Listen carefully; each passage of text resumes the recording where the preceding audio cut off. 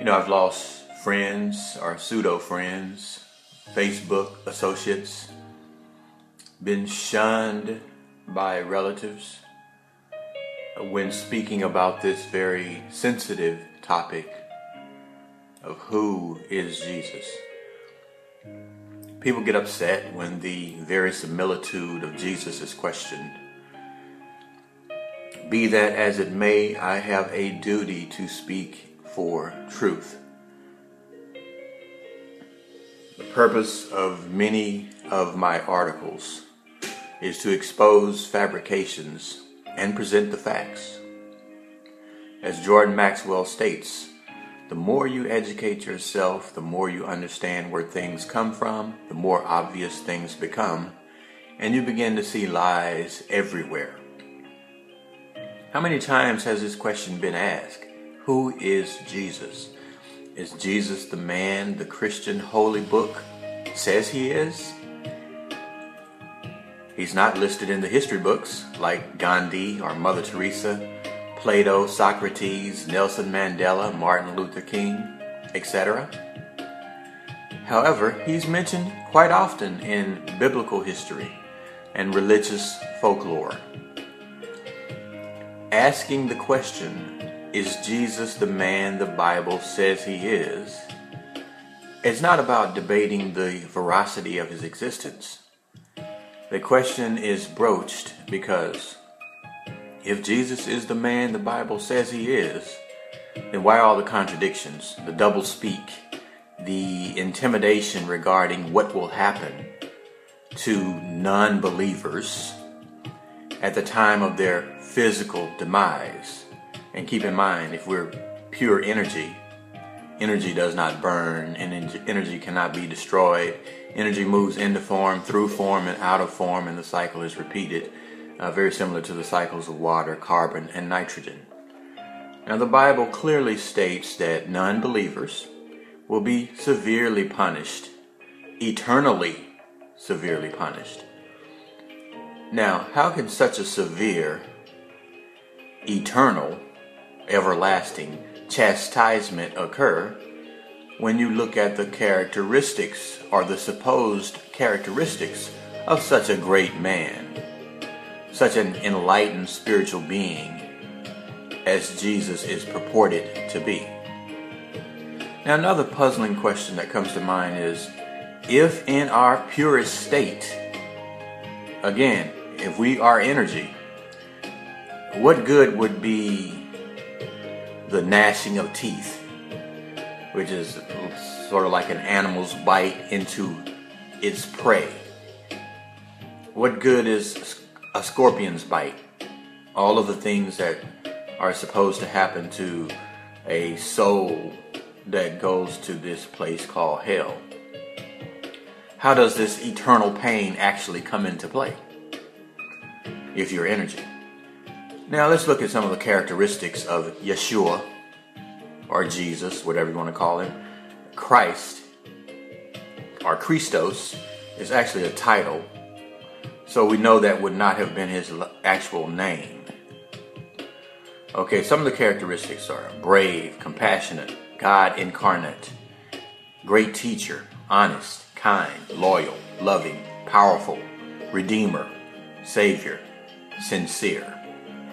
So you have all these grandiose qualities, yet there is a severe afterlife awaiting those who do not believe in the existence of this particular entity or deity.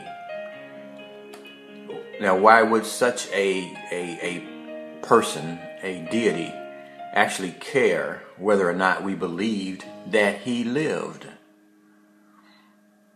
Now, shouldn't such an exalted figure be more interested in the quality of life more so than the beliefs of an individual. Wouldn't God incarnate or God in the flesh be more concerned with whether we helped our fellow human beings than if we gave 10% of our income to the church?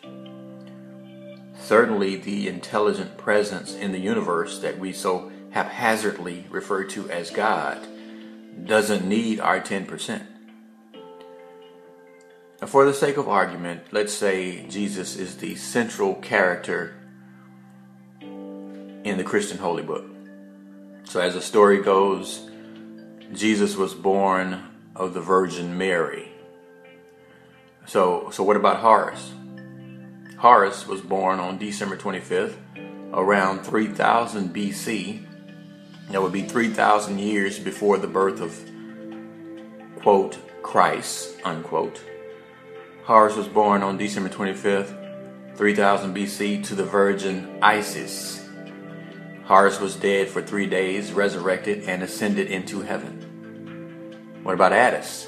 Attis was born on December 25th, around 1200 BC, to the Virgin Nana. Attis was dead for three days, resurrected, and ascended into heaven.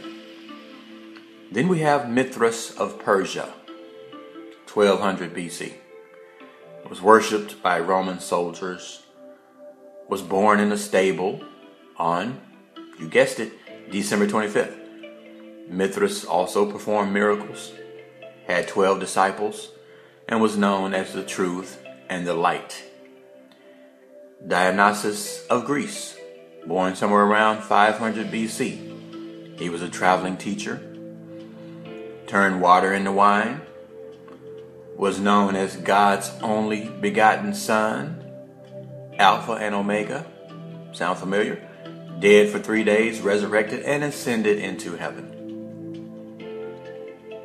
Now, there are several more deities who all descended from heaven, assumed the form of men. Uh, coincidentally, there are no female saviors of humankind are recorded, which is a bit odd, but that's beside the point. So these deities descended from heaven, assumed the form of man, and their stories provide unequivocal evidence of a divine origin.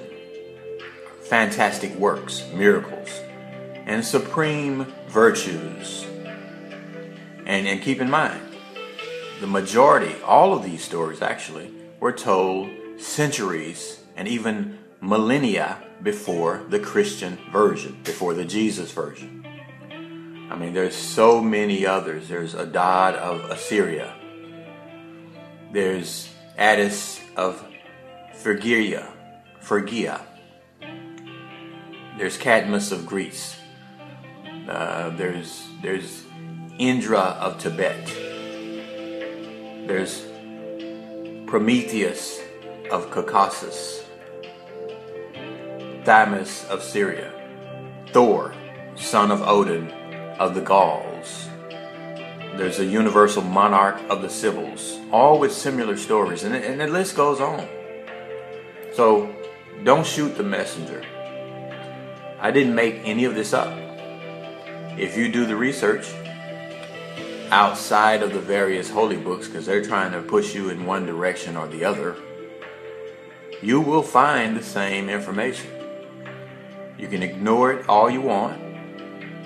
But if the same story was told hundreds of times before the so called original version, there's definitely a fly in the ointment.